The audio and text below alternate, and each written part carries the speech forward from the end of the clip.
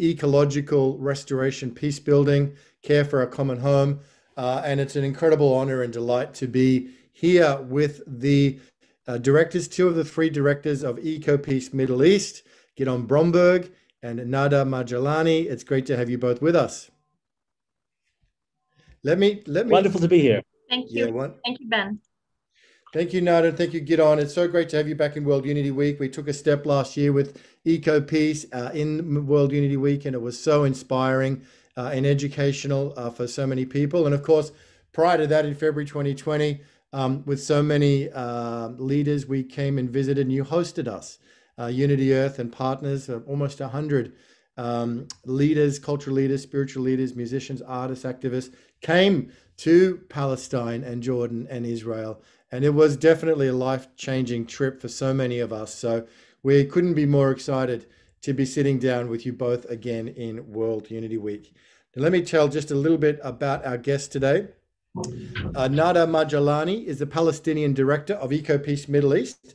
Nada holds a, a, a, master's in environmental assessment and management from Oxford Brookes University in the UK and served in leading technical positions with several international agencies in the areas of infrastructure development, mainly water and sanitation, sustainable and clear production, as well as various tasks on institutional capacity building and policy advisory support.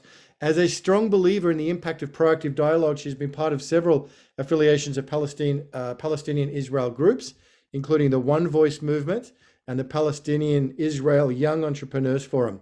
Nada has recently addressed the EcoPeace vision at various high level international platforms, including the UN Security Council, NATO, and the Planetary Security Conference. Wow, Nada, such, a, such an impressive uh, resume and background. And Gidon Bromberg is the co founder and 25 year Israeli director of EcoPeace Middle East. Mr. Bromberg has written extensively on the relationship between water issues and Middle East peace uh, and has presented before the UN Security Council, UN Climate Summit, US Congress, European Parliament, and other international forums. Mr. Bromberg, an attorney by profession, is an alumni of Monash University in Australia, Washington College of Law at American University, and Yale University's World Fellows Program. Gidon is also a World Unity Week Ambassador 2021, so we're very, very honored to have you with us. Um, and extraordinary the work that you are doing in the world. Uh, our theme for World Unity Week this year is "Let's do something." And when we when we when we brought that uh, along, Nada and Gidon, it was really you and EcoPeace that were front of mind, because you are champions uh, and heroes on the front line of doing something in. Let's be honest, what's probably the most challenging uh, cultural, political, religious, environmental context on the planet, and certainly when you put them all together. Uh, and the work over almost 30 years now of building networks and building trust and building programs and um, connections across those three uh, states in the Middle East, Palestine, Israel, and Jordan. And now to see EcoPeace's work spreading around the world. And another thing that's so uh, powerful about you having you in World Unity Week is our theme right throughout the, the week is water. And so we started with water blessing, uh, and water is running the whole way through um, and looking at the importance, in a sense, Nada and Gidon. There's a general will for people to come together, but there's also a sense of, well, what are we uniting for? When we come together, what are we what are we coming together for?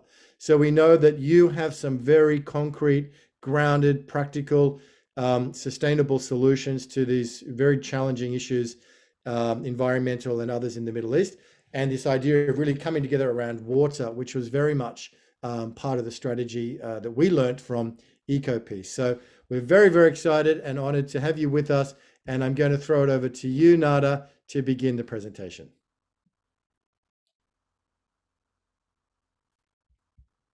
Thank you, Ben. Um, I'll, I'll share my screen shortly and um, I hope it's clear for everyone. Yes? Okay, so thank you, Ben, for the wonderful introduction and uh, Um, absolutely, we're thrilled that we are part of the uh, World Unity Week uh, presenting our Green Blue Deal uh, concept uh, for the Middle East, uh, which very much is focused on water security and water issues at the hard core of this concept. Um, and particularly also addresses what can we do together? What can um, uh, we achieve uh, by working together and coming together uh, to address uh, one of the most pressing issues uh, in the region in terms of uh, water security and energy security in light of climate change and the geopolitical challenges. So, um, what EcoPeace has proposed in December 2020 is a concept of a green blue deal for the Middle East, uh, which was presented in our uh, and launched in our annual conference last year. Um, and it's uh, basically um, uh, driven by uh, the experience of EcoPeace over the past 26 years of environmental peace building at several uh, levels. Uh, the uh, bottom up approach, which is focused on engaging with communities and youth and, um, and community leaders, and the top down approach, which is focused on advocacy and working with policymakers to advocate for policy change. So, in that sense, we um, we developed this um, this uh, concept of four main pillars. Uh, and we uh, basically focused on this uh, concept as a climate change adaptation and mitigation approach, which would ensure that the three countries of Palestine, Israel, and Jordan have the appropriate mechanisms to address uh, uh, the challenges that would come out of climate change, uh, but also a concept that would go broader to the Middle East region, including other uh, watersheds and basins and other conflict areas in the Middle East and North Africa, uh, where they can also learn from the approach of EcoPeace and its mechanisms. So uh, when we proposed um, uh, this uh, initiative, we've had uh, also a huge international support, and I will come to this next in, into the slides and to the presentation. But why have has EcoPeace started acknowledging and addressing these issues and putting uh, climate change in the framework of, of, uh, of regional security? Uh, it's very evident uh, from uh, several studies that uh, water insecurity and areas of that are facing conflicts and challenges are basically also water scarce and it is very evident from from the slides here um, in, in in the hotspots over the Middle East and North Africa uh, where we have conflicts related also to water issues. Um, and at a time where uh, the world is facing um, the, the uh, risk of increased uh, temperature by uh, 1 uh, to 2 Celsius degrees, the Middle East is actually uh, going to be facing challenges of uh, approximately 4 Celsius degrees uh, increase in temperature by the end of the century. So what we're seeing is a potential um, uh, threat multiplier uh, to regional security uh, as, as climate change impacts are hitting our region. But uh, in our concept as EcoPeace, we're trying to look at uh, climate change as a, as a different derivative uh, rather than a risk multiplier. But we're looking at it as a um, as an opportunity multiplier to basically bring people together to work and to address the upcoming challenges. Similarly, when we speak about climate change impacts to uh, to um, uh, basically um, uh, the temperatures, we're also speaking about shifts in uh, uh, shifts in the seasons and the raining seasons. And this is a slide uh, from the um, uh, from the Tel Aviv University, um, which basically presents the projections of um, longer summer seasons and dry seasons and shorter winter seasons uh, which will definitely affect not only the water uh, recharge and supply, but will also affect uh, food security in a region that is um, heavily dependent and very much dependent on uh, historically on agricultural uh, activity as part of the cultural and societal mosaic uh, in the region, particularly also for the region of the Jordan Valley, Uh, which is uh, basically considered as the uh, food basket of the region. But when we look at all these factors, we look at also the interconnectedness of inter uh, of um, of environmental issues and environmental values. And as we can see here from the slide, um, many of the uh, watersheds and the uh, streams are basically having a transboundary nature. Not to mention uh, also, or not to forget mentioning. Um, the Jordan River system, including also the Dead Sea and the Sea of Galilee. Um, uh, similarly, also the Mediterranean Sea. And when we think of the interconnectedness and the shared risk of climate change impacts, we also think of uh, situations with, which we have come across um, uh, in Gaza Strip, where basically um, energy insecurity and water insecurity had cross-border effects. Uh, this is a photo from 2017 showing this red uh, material, which is uh, basically raw sewage uh, and chlorophyll and organic matter traveling north from Gaza Strip um, due to untreated sewage uh, towards the north, uh, polluting Israeli beaches and causing the closure of desalination plants uh, in Israel, which 15% uh, of uh, the drinking water of Israel depends on these desalination plants. And the reason why Gaza is unable to treat its own sewage is because of the lack of infrastructure, um, blockade over Gaza for a approximately 15 years, um, which also uh, does not enable the improvement of infrastructure in Gaza and treating the sewage properly. So it shows that um, some policies, um, either internal policies or, trans- or cross-border policies from one side to another, has uh, basically drastic implications um, uh, trans- on a transboundary level, and this shows how political borders do not actually uh, represent uh, what actually means in terms of environmental impact because environmental damage does not recognize political uh, borders.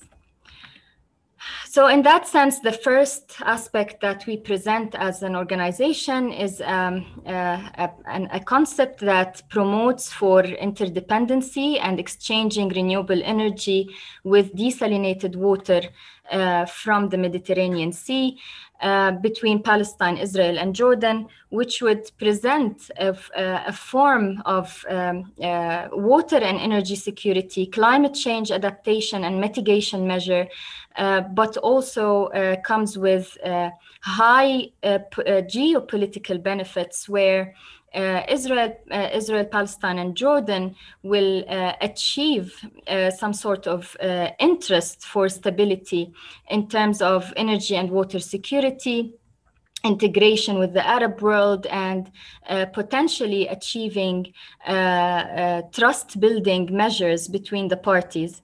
And this doesn't come out of, um, uh, out of nothing, but we have studied the experience of the European Union in terms of the uh, post World War II agreement of the coal and steel, which um, emerged after uh, a lot of, of uh, sorrow, sorrows and sadness and bloodshed, um, and has actually capitalized on uh, the two main uh, strong resources of Europe, which are the coal and steel, but we're here depending in the region of the most important sources, which are the sun and the sea in the Middle East to achieve uh, the security that we aspire all. Um, and this is definitely doable and achievable because if we see uh, if we look at the development of um, of, of uh, water production from non-conventional sources such as desalination we see that israel is a leading uh, um, uh, party and leading country uh, aiming to double um, and, and, or actually uh, triple the uh, the production of desalination uh, by 2050 uh, and this would uh, actually add to the uh, and will increase the pie of water availability in the region, which would enable uh, uh, Israel, but similarly also Palestine, to um, uh, to export water to Jordan in exchange of renewable energy produced in Jordan back to Israel and Palestine.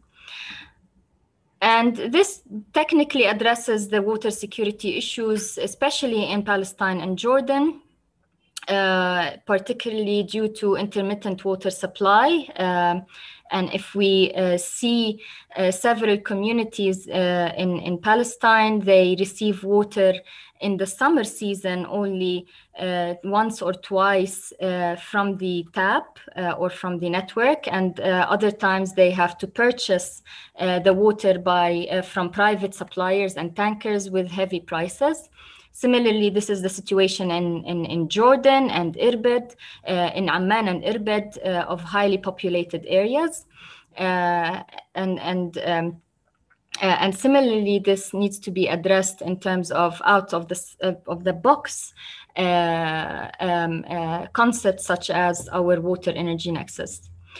Uh, but also we have between the Palestinian and Israeli side the uh, issue of transboundary um, water streams, which are also generally polluted by raw sewage. Uh, and also this needs to be addressed uh, in particular solutions on both sides, which also requires a lot of political will. And this is exactly where EcoPeace comes in and jumps into the concept of resolving water and sanitation issues as a priority and putting this uh, priority on the table of the politicians.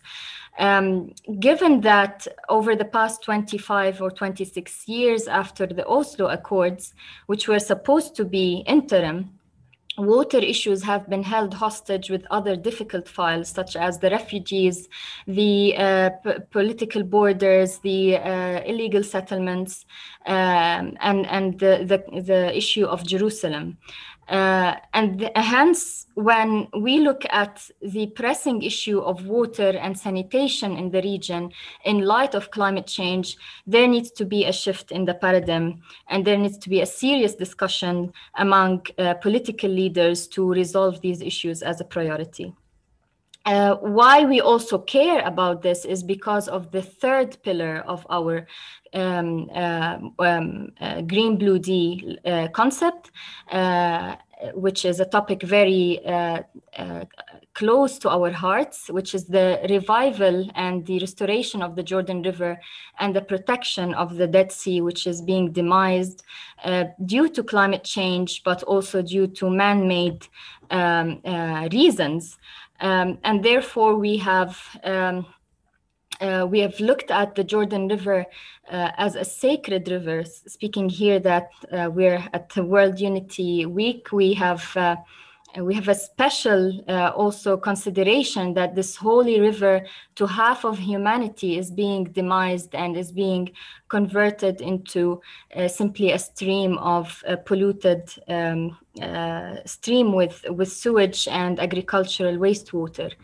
So in, in that sense, and because we care, we have developed a regional master plan for the Jordan River Basin, not only for the uh, protection of the uh, Jordan River, but also to address the economic prosperity and stability of the region in Palestine, Israel, and Jordan by providing a master plan which would shift the economy of the Jordan River or the Jordan Valley from a 4 billion US dollars to a 73 billion US dollars including infrastructure projects, but also other projects that could be led and driven by the private sector. The final pillar that we're working on is very also um, close to our hearts, which is the educational part and the raising of awareness on environmental issues and transboundary environmental issues among our youth.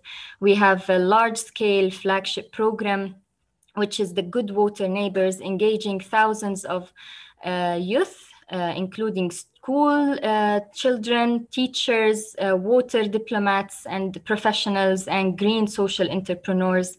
Similarly, we work with community leaders and municipality um, uh, leaders to address and to push forward our agenda to the political leaders that something needs to be done on ground. And finally, as I mentioned, we have had, uh, we've gained a lot of political support uh, and international support. This is uh, Yana, our Jordanian director, me and Gidon um, uh, in the UN Security Council after our presentation, and uh, with uh, also with our champion for the Green Blue Deal, the Finnish Prime Foreign Minister Pekka Haavisto um, which who's taken the lead to basically uh, um, uh, and taken the championship to promote for our green blue deal uh, amongst his peers internationally. And i think i, I would leave that to uh, to gidon and and to myself uh, further when we speak uh, about international engagement and what can be done. I will leave it there. Thank you so much. I'm sorry if i took so long, I'll stop sharing my screen.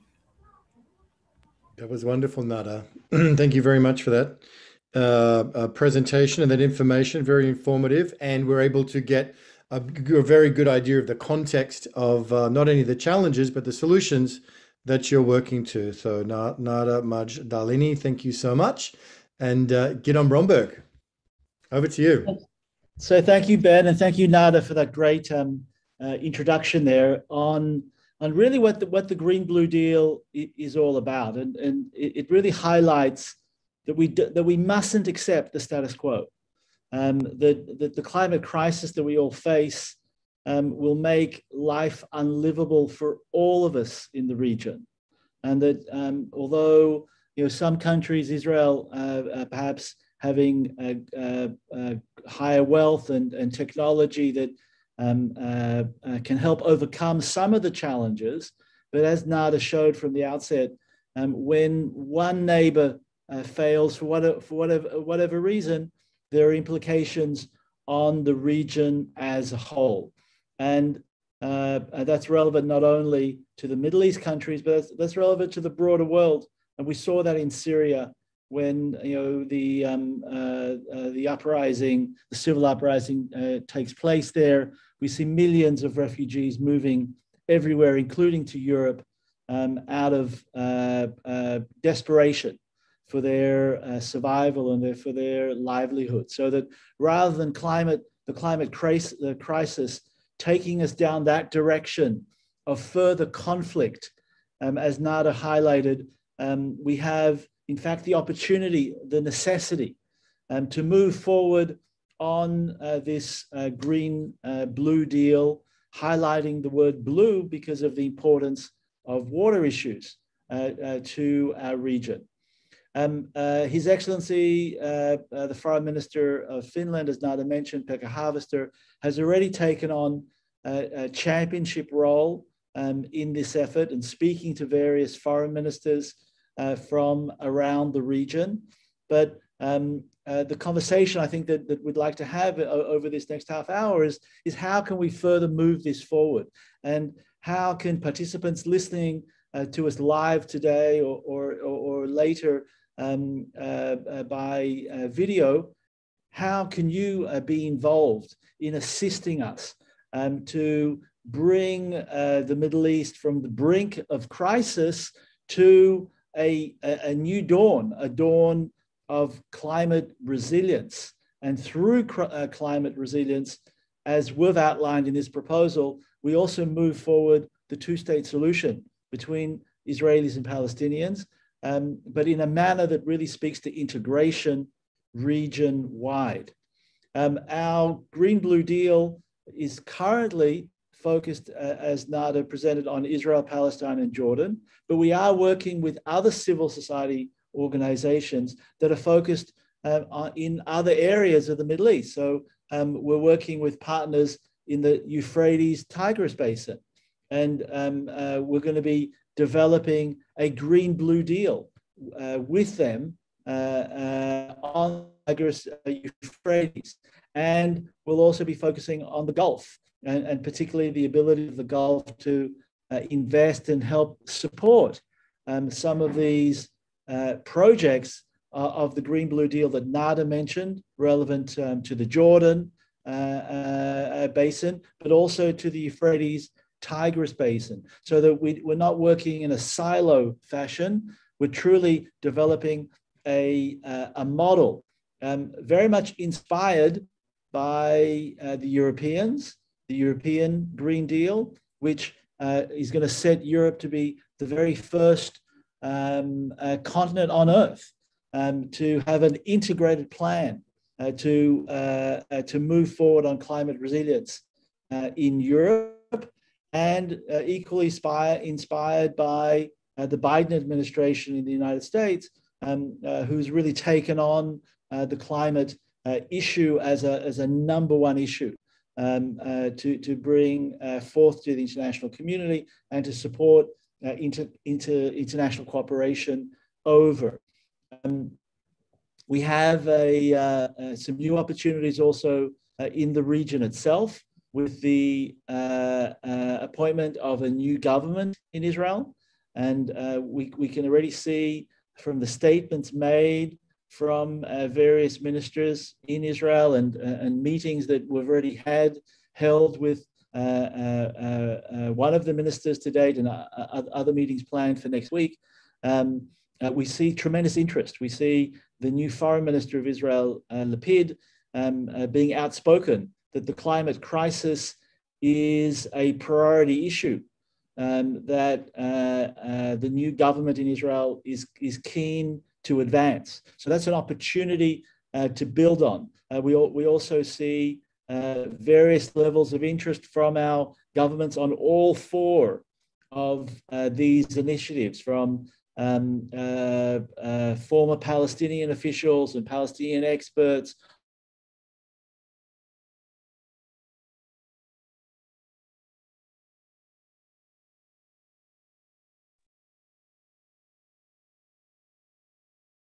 We're hoping uh, to, to continue to create the political will needed uh, towards the rehabilitation of the Jordan River and uh, the Dead Sea. Um, so, so what are the, what are some of the uh, the measures that uh, uh, people in the audience uh, can can do? So, we're trying to create a coalition of the willing, a coalition of foreign ministers, of climate ministers, of environment ministers from around the world to support, to endorse um, uh, the Green Blue Deal and help create the needed political will that brings together our governments um, directly from the region, um, so that uh, uh, you know, people listening uh, to to this effort, we're looking to partner. We're looking uh, to see how you might be able to raise your your voice. If you're in the United States with members of Congress, if you're in Europe with your respective uh, parliaments and elsewhere around the world, to try to encourage uh, to get the message out that there is a blue plan um, uh, for climate resilience, climate um, uh, mitigation and adaptation for the Middle East that can bring, that can start to move the, re- the region forward towards peace and prosperity. Um, and we think that that is of mutual interest for everyone across the planet. Certainly a key issue um, of Unity Earth, of, of, of, of, of this gathering um, uh, uh, globally that's taking place uh, this week.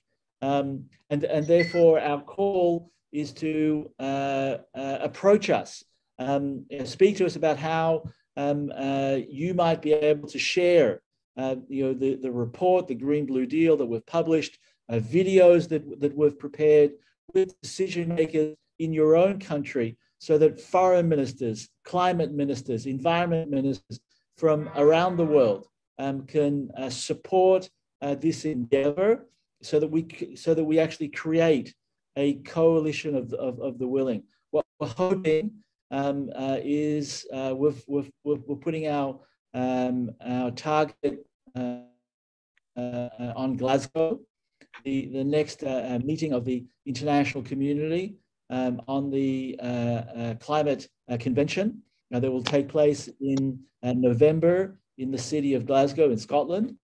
Uh, we're hoping that, that uh, we'll be able to organize a roundtable that will involve uh, decision makers from our uh, respective uh, governments and come out with a statement uh, uh, where our own governments and the international community can become vocal in support of moving forward on a green blue deal for the Middle East.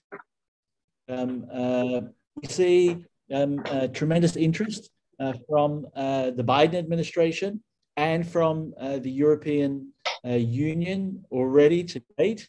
Um, we've had uh, fantastic conversations with uh, uh, senior members in the State Department. We've had um, uh, very good conversations with ambassadors from all of the major European states to our region and their respective foreign ministries.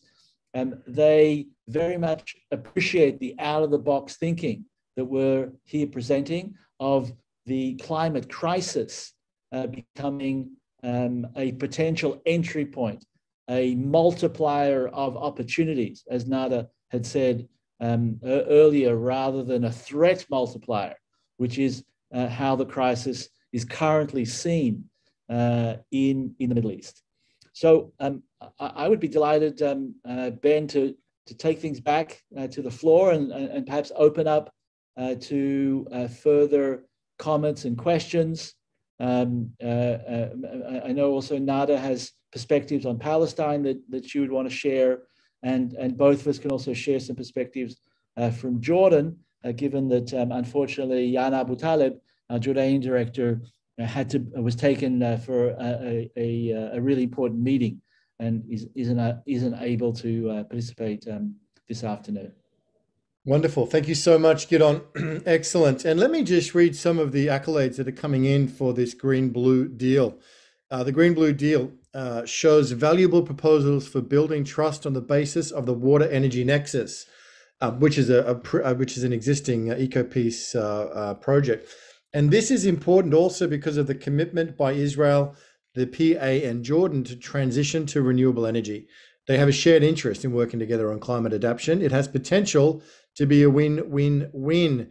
That was from Susanna Terstal, the EU Special Representative for the Middle East Peace Process.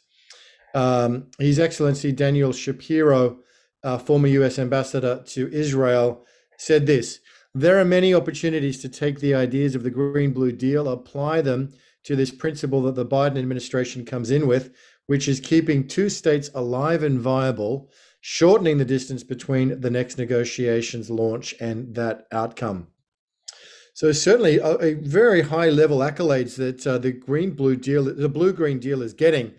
Um, His Excellency Eric uh, Ullenhag for the Swedish ambassador to Israel said, the sunshine and the wind give the opportunity for this region to actually be self-sustainable when it comes to renewable energy, to be leaders in renewable energy. I know that EcoPeace is working on it finding ways to make exporting from one country the energy, renewables, and getting water in return as a way of building bridges. It's brilliant, it's simple, it makes sense, it's profound visionary work, Nada and Gidon, that you're doing. Nada, would you share with us a little bit, perhaps, as Gidon was um, uh, suggesting, a little bit about from the Palestinian perspective, maybe now with uh, political winds of change in Israel, uh, anything, um, anything uh, you know, you'd like to share from what's been shared so far? Uh, certainly, Ben. We have, we've, in terms of the energy sector, we've been struggling over the past years to achieve our targets and goals to to reach out to the 10% uh, renewables in our energy consumption. Uh, and especially with uh, the various difficulties uh, to achieve this on ground, whether it's from institutional capacity, whether it's from the grid capacity and infrastructure capacity, or even the incentives that are not very incentivizing for the private sector to go into investing in, in renewables. Uh, and not to mention also the geopolitical aspects of uh, land restrictions uh, in the West Bank by Israel to construct uh, uh, and to, to build renewable energy facilities. So all these impediments, I think, uh, they uh, very much uh, affect our ability to reach our target uh, of the 10% by 2030. and, and the only way around is to achieve some sort of energy security is to uh, um, uh, keep pushing, of course, the national agenda, but also to achieve diversification of our energy sources uh, from Jordan. Um, this will also gradually uh, delve into the national aspiration of reducing dependence of the Palestinians uh, on renewables or on energy sources from Israel, which is approximately 96% uh, of our energy is uh, basically imported and, and, uh, and coming from Israel. In that sense, it makes uh, financial sense, it makes geopolitical sense uh, to diversify our energy sources from the Jordanian side. On the water side, also, if we achieve energy, uh, water security in Gaza, it is also very much in the interest of, um, uh, of the Palestinian Authority. Um, and in that sense, by uh, putting and uh, the, the proposed uh, desalination plants, the large-scale ones, as part of a regionally integrated plan for improving water security, will make things easier to improve on ground. Um, and in that sense, also, uh, would uh, not only create a trust building measure uh, where things improve on ground, but will also uh, enable increasing the uh, water pie, as Gidon mentioned, uh, to enable basically resuming some political talks over reallocating natural water resources which is basically in the interest of the Palestinians to gain their uh, um, uh, just and fair water rights from natural water resources. And in that sense, um, we are seeing some shift in also the mentality of Palestinian politicians and Palestinian experts who have very much opposed the EcoPeace proposal uh, for the uh, prioritizing of negotiation negotiations on water in 2012 and 2015. Today, with the pressing issue of climate change, we are seeing that this, those same experts and politicians who were opposing us are now calling for uh, prioritizing negotiating on water. So this is also an opportunity for us as EcoPeace to uh, promote deeper our Green Blue Deal concepts uh, within our uh, national uh, stakeholders. Um, and I think this comes right at, at a time where also um, there's there's a shift in uh, and change uh, in the international uh, basically political atmosphere with the um, Biden administration coming back on board in the Palestinian Israeli conflict uh, file and uh, regaining uh, some of the uh, communications with the Palestinian Authority and the US administration after four years of, uh, we call it the dark ages of, uh, of the Trump administration. so we see definitely here a great opportunity on the changing currents of the political atmosphere, which we can capitalize on. If I could add uh, to, to Nada's important uh, comments there that speak to progress uh, and change of mindsets on the on the Palestinian side, similar change of mindsets also Israeli side. So we completed our water energy nexus study in 2017, and I presented uh, the idea of Israel uh, purchasing renewable energy from Jordan. There was a lot of skepticism uh, coming from officials um, there'd been actually a, a, poor experience where Egypt uh, was selling uh, natural gas to power uh, power stations in both Israel and Jordan, and those pipelines selling, uh, providing that natural gas uh, were being blown up and, and leading to tremendous interruptions of, of electricity supply. Um, to both the Israeli and Jordanian market. So, you know, so a lot of skepticism, you know, originally back in 2017. Well, why should Israel be dependent on a neighbor? Um, look at the bad experience that uh, that we'd seen in the past with um, you know uh, basically um, you know terrorist acts blowing up uh, pipelines uh, in the Sinai.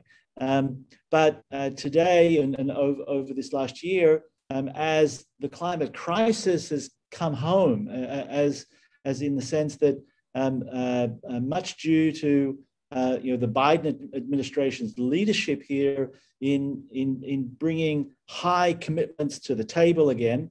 Um, we've seen the government of Israel move from originally just a 17% commitment uh, of renewables by uh, 2030 to a 30% commitment by uh, 2030 and 100% renewable uh, uh, electricity supply by 2050.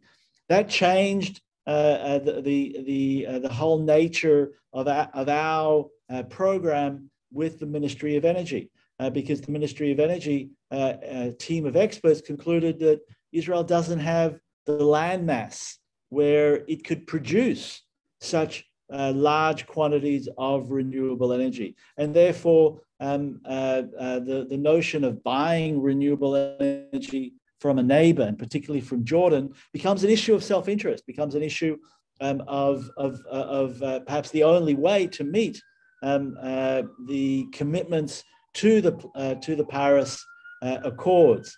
And of course, um, the other really attractive aspect of the water energy nexus aspect of the Green Blue Deal is that, that this, is, this can all be led by the private sector, that the advances in technology of, of both uh, renewables, wind and solar are profitable. Uh, in fact, you know, in our part of the sunny, in our part of the world, which is so sunny, um, the production of electricity during the day is cheapest by harnessing the sun. It's already cheaper than any other type of, of uh, fossil fuel, coal, oil, or gas.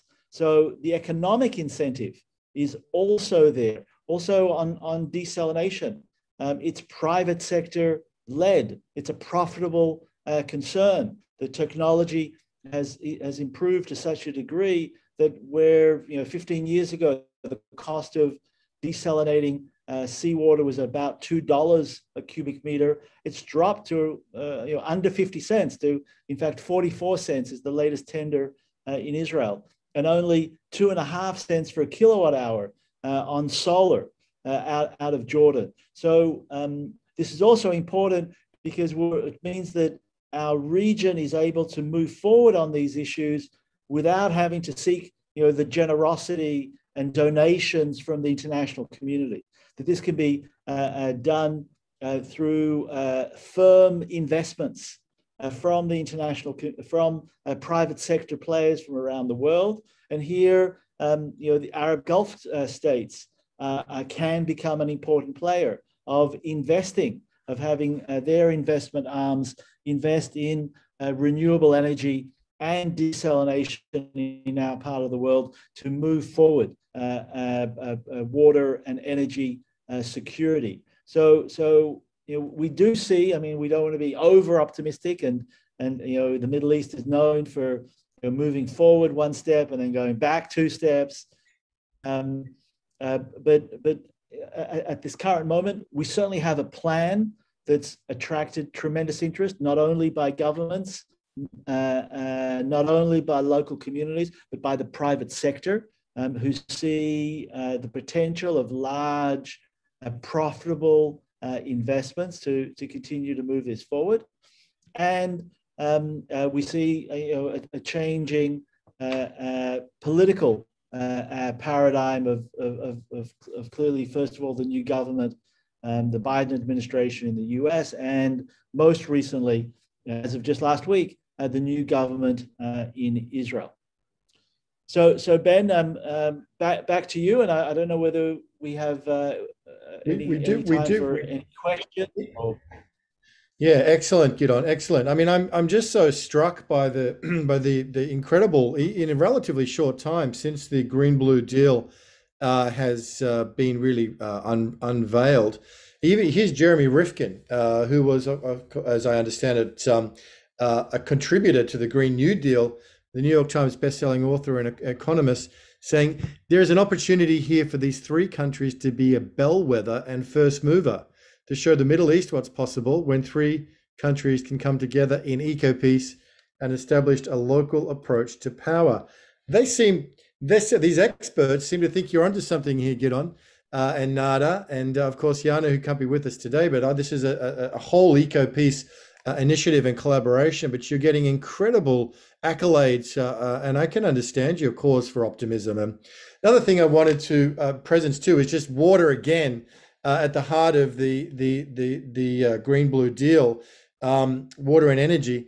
Um, but water and the, and the collaboration we have still here with us uh, Father Joshtrom from the um, from the Dicastery in the Vatican. And tomorrow at this time, uh, Gidon, you'll be one of a number of representatives talking on a panel for Water First, policy, global policy, Water First.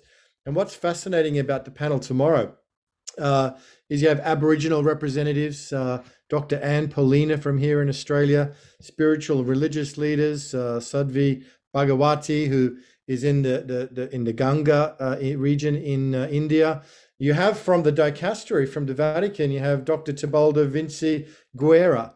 Um, you have Robert F. Kennedy Jr., uh, Dr. Shelley Ostroff, Ambassador Mussie Hailu, Linda Tucker.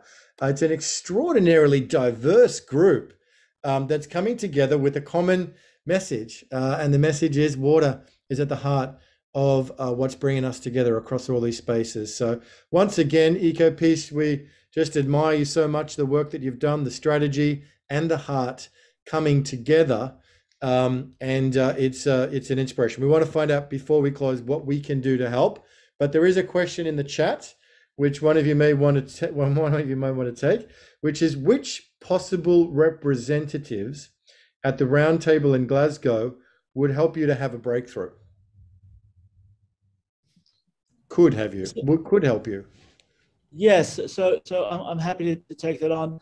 Um, uh, at the climate summit in uh, the Conference of the Parties in Glasgow, um, you're going to see climate ministers uh, come together. You're going to see foreign ministers, and you're going to see environment ministers. Um, in in one of the days, we're probably going to see presidents and prime ministers as well. So you know, the, the conference takes place over a two-week period. Various ministers will be involved, and on on on on uh, one of the days uh, in the in the second week, There'll be the prime ministers and presidents of the world. Um, our, our focus is to get uh, the either the foreign minister or the climate minister um, of particularly uh, uh, uh, influential states to the Middle East region. So you know Europe, um, North America, the G7 countries, and the, the G7 countries, in fact, launched a, a new initiative uh, uh, the week before last um, when, when they met in, uh, in the UK. They, led, they launched a new initiative called the Clean and Green Initiative. And that initiative uh, is identifying projects like uh, the Green Blue Deal, like the Water Energy Nexus, to be endorsed by the G7 uh, for support. Um, uh, so uh, the UK is considering uh, our water energy project as a uh, as a project to be chosen by the G7. Um, so everyone there in the audience that um, is a, a, a, citizen of a G7 country, you know, the most industrialized countries in the world, um, can, can really help us by sharing our information. We shared on the uh, chat uh, the link to the Green Blue Deal report um, uh, so that you can read uh, uh, in further detail. Nada and I uh, will share our email addresses as well if, if people would like to touch base with us in order to, to move this forward. And indeed, I, I very much look forward to tomorrow's talk uh, where I'll have the uh, the short opportunity. I think it's only um, five to seven minutes each, but to delve deeply into what does water first mean uh, in particularly the Israel-Palestine context, and how that can really be uh, a game changer. How that can help build trust uh, by simply having more water in everyone's homes and less sewage polluting our scarce, our already scarce water resources. How what a change um, uh, more water can mean to uh, livelihoods and quality of life of people uh, across the region, and how that can really uh, become the impetus of trust building, of, uh, of, of then moving forward on the other final status issues, so that we can create a state of Palestine living side by side uh, uh, in peace with the state of Israel and an integrated uh, region that, that, that, brings together all of the, the basin state um, of, the, of the Jordan River Valley. Back to you, Ben. Wonderful, thank you, Gidon. And and and Nada, any um, any comments from you as we start to come towards the end of it? We do have a member of your international board here, of course, being uh, Rabbi Avraham Soetendorp, and we'd love to get uh, Rabbi uh, Soetendorp's reflections before we do close. But um, perhaps uh, perhaps Nada, just prior prior to hearing from uh, Rabbi Avraham, any uh, final comments from yourself? Uh, well, I think I think um, uh, we've we've covered most of the issues, uh, Gidon and I, and uh, uh certainly uh, we're very much thankful for the continued cooperation and partnership with Unity Earth over the past couple of years, and we hope that this continues on and on to spread the word of communing and uh, and coming together to address important issues uh, to humanity uh, first of all and to the region. Um, and uh, thank you indeed and we look forward many more events and and and partnerships and successes to together.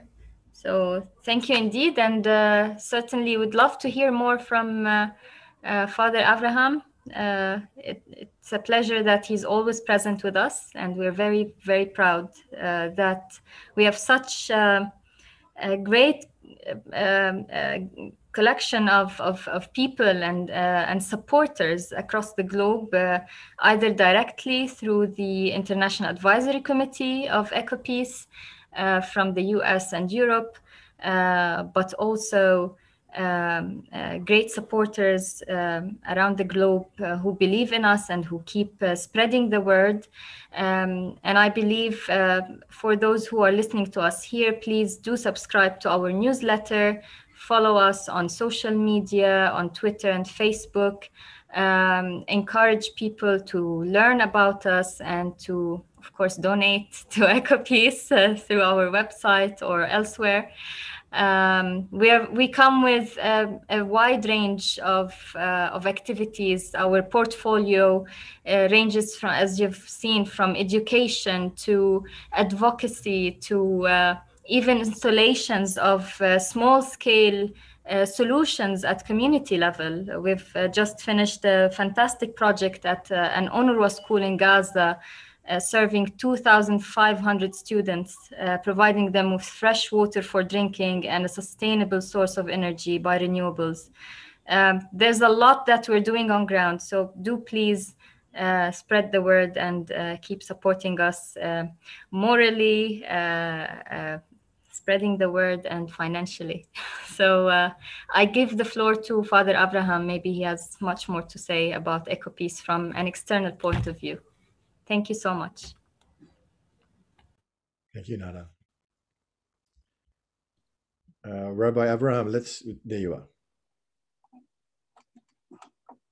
Um, well, Nada and Gidon, it's it's always so inspiring for the people who hear it for the first time that for me, who has been with you and Gidon from the very beginning and to see how this energy of just one person believing I, I, remember you as a youngster just, and I brought your voice to a, to a gathering and I saw the skepticism.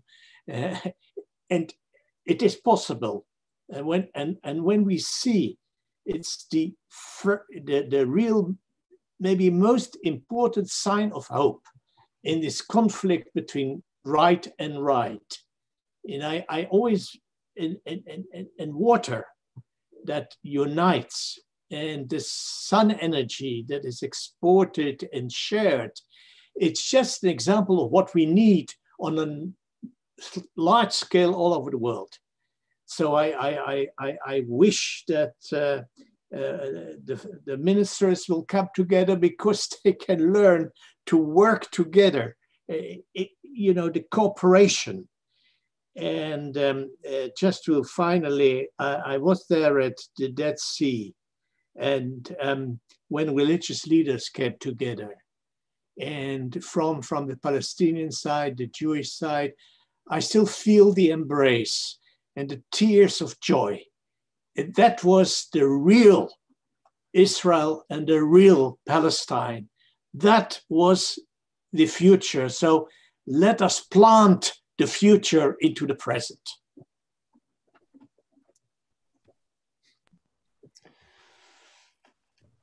Very powerful, very powerful words to finish. Um, very powerful words to finish. And just just in the last moments um, before we close, because we've been talking with Rabbi Avraham, who's been sharing his very inspirational vision, Nada and Gidon, for um, what what he's calling a holy decade, the 2020s. Of course, we have the SDGs, and there are many groups that are orientating around this decade. Uh, it feels like it's um, one of ultimate significance in so many different ways. And speaking to you, Gidon and Nada, as an organization that's coming up to almost 30 years on, um, is this decade something around which you're orientating, or is your timeline much shorter than that? Uh, let just share with us a little bit about the future for EcoPeace. And I'm just thinking here, Gidon, where's EcoPeace going to be in 30 years from now?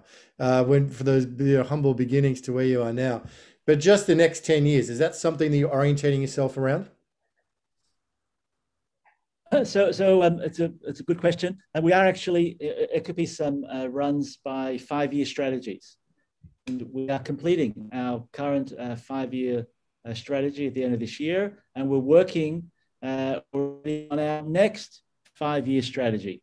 And so we're asking the question, you know, so you know, what do we want to be? What do we want to do when we grow up? Um, we think that um, uh, you know, the timeline is short time is not in our in our favor. Certainly, the climate crisis.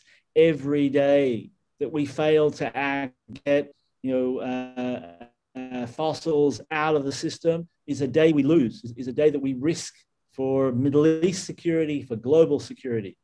So on the one hand, you know, time is not on our side, but on the other hand, we also well understand that change takes time.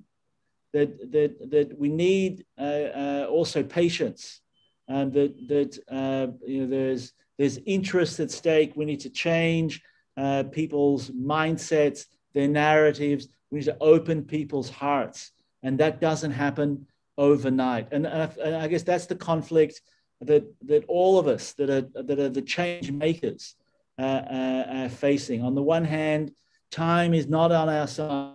We need to see these types of steps move forward yesterday with urgency but we also appreciate that change happens slowly. Um, so, so we're 30, we're almost 30 years, uh, you know, into our efforts. Um, we can speak with optimism because we have seen real change. Not enough. We're not satisfied, but we have seen real change of mindsets, improvements. Um, you know, sewerage removed for where nothing but sewage used to flow, fresh water being released where no fresh water was flowing for 50 years. Um, so, so we want to, you know, instill in these in these last words um, uh, optimism that that indeed peace is possible, peace in the Middle East will happen. It's a matter of time and it's a matter of effort from all of us to make sure that it happens as soon as possible but it's definitely going to happen because we need it to happen. Mm. So if I can add uh, a couple of uh, short lines here, I think the Please. eco-peace work will will never fade, uh, whether in the times of conflict or the time of peace.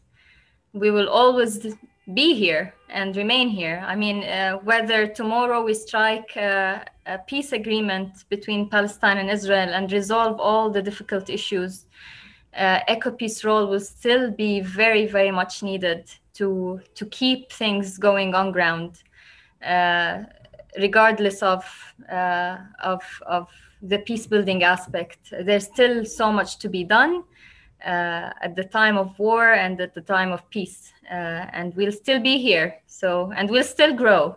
So uh, this is uh, this is where we are, and this is what we stand for. Wonderful, wonderful, Nada. Long live Eco Peace. Long live Eco Peace and blessings and uh, strength and success for the Green Blue deal. You are inspiring as always. Nada Majdalani, Gidon Bromberg, thank you so much for being with us in World Unity Week. Eco Peace, we'll get the links out. We'll promote this video far and wide and this incredible work that you are doing.